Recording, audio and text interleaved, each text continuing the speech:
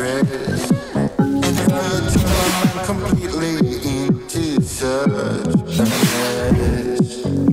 So easily.